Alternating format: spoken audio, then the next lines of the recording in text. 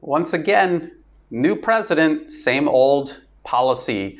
Uh, this is from RT. China labels US unreliable and uncredible as Biden reportedly tightens restrictions on supplying Huawei.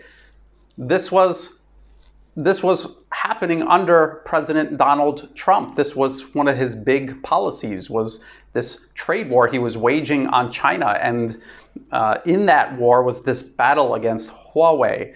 They, they, had Canada arrest one of their executives. They're trying to cut the company off from US suppliers that were supplying them microchips. They were pressuring countries all around the globe to cut Huawei off from their markets, and they have cut Huawei off from US markets. They also had Google try to cut Huawei off from the Android operating system that runs on Huawei smartphones.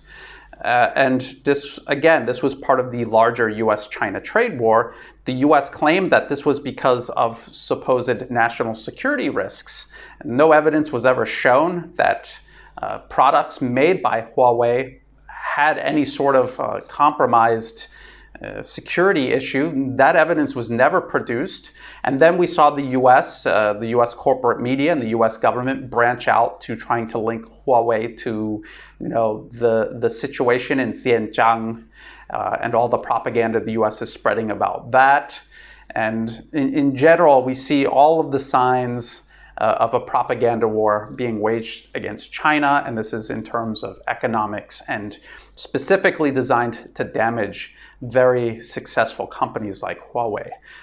And now, if you think that this is just the US uh, versus China, and if you do somehow, for some reason, believe US corporate media that China is a problem and that Huawei is this extension of the Chinese Communist Party, the US is doing the exact same thing to its own allies. It's doing the exact same thing to Germany, one of uh, America's closest allies in Western Europe. And if you're thinking, well, that, that article you just showed is RT, that's Russian propaganda, here's one from Reuters, and this is this week. Germany bets US will make the best of bad deal Nord Stream gas link. Uh, and if you don't know the background of this story, Russia and Germany are building a pipeline to bring cheap Russian hydrocarbons into Western Europe through Germany. And everyone in this deal benefits. Russia does, Germany does, other European companies involved in the pipeline's construction and then its operation and maintenance, they're all going to benefit. And of course, Western Europe's going to benefit from having a steady, source of cheap hydrocarbons. Uh, and during the Trump administration, this was another one of these issues where the US was pressuring Germany to end this deal, to stop this pipeline with Russia. Uh, they asked them, then they told them, then they started with the sanctions, just like they're doing with Huawei. Uh, when there is a business deal happening that the US is not benefiting from, or uh, a business deal that jeopardizes one of America's rackets or pyramid schemes, this is what they will do. It doesn't matter if it's a country that is a supposed adversary of the United States or if it's a country that is a very close ally of the United States. This is the only way the US knows how to do business. So, uh, here in the Reuters article, President Joe Biden thinks the pipeline under the Baltic Sea to Germany is a bad idea for Europe. The White House has said, wow, uh, just like Trump said, and just like all the corporate funded think tanks said and told these presidents to say. So we come back to the original article here. China labels US unreliable and uncredible.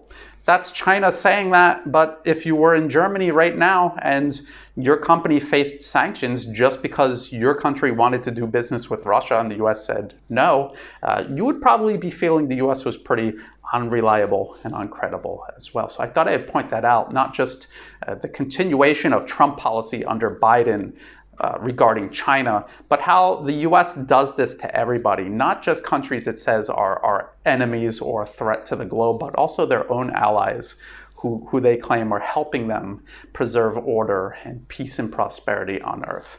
If you thought this video was useful, please like and share it. Think about subscribing to my channel. It's free to do. It helps the channel grow.